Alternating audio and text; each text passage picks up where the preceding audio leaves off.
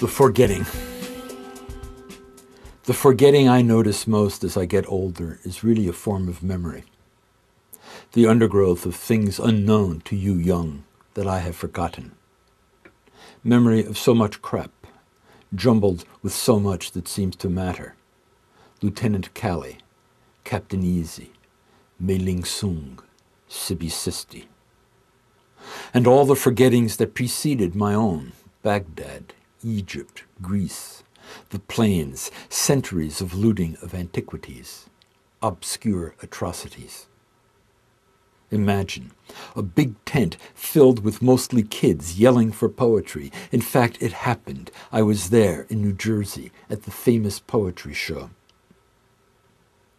I used to wonder what if the Baseball Hall of Fame overflowed with too many thousands of greats, all in time unremembered?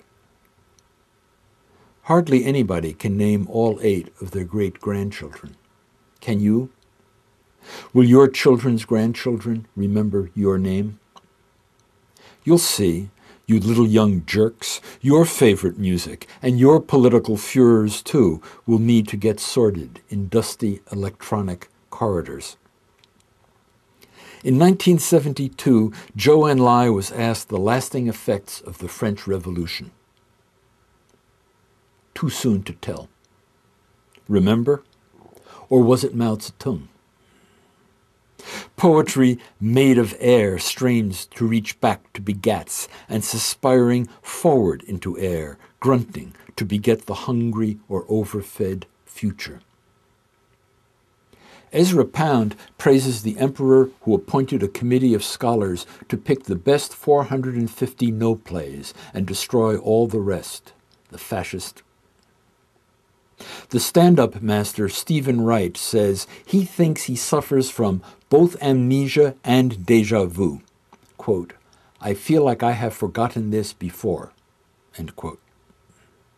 Who remembers the arguments when jurors gave Pound the only prize for poetry awarded by the United States government? Until then. I was in the big tent when the guy read his poem about how the Jews were warned to get out of the Twin Towers before the planes hit. The crowd was applauding and screaming. They were happy. It isn't that they were anti Semitic or anything. They just weren't listening. Or, no, they were listening, but that certain way. In it comes, you hear it, and that self same second you swallow it or expel it an ecstasy of forgetting.